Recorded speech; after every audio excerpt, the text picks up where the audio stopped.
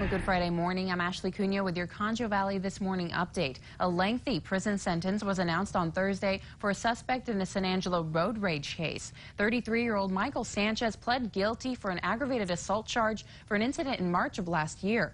Prosecutors said he assaulted a driver after an altercation where the victim's vehicle was involved in a near-miss accident. The driver was assaulted and stabbed and is still recovering. A judge sentenced Sanchez to 28 years in prison.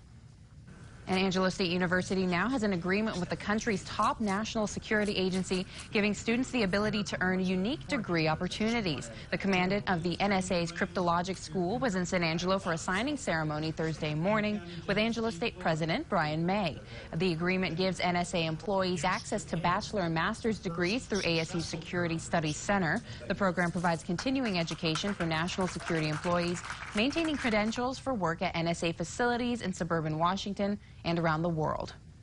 I think this is uh, absolutely wonderful. We get to help the military, you know, the military who are protecting this nation.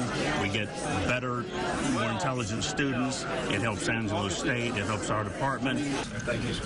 ASU is one of only seven schools in the country with an NSA degree program. And many San Angelo teachers are back in their classrooms this week getting ready for next week's start of the school year. Veteran teachers offer some advice for first year teachers. One teacher says it'll all come together even though the first few days can seem overwhelming. More than 200 teachers this year are new to the San Angelo School District. Now see what's happening in weather with Taban Sharifi. Taban, are things really heating up in the Concho Valley today?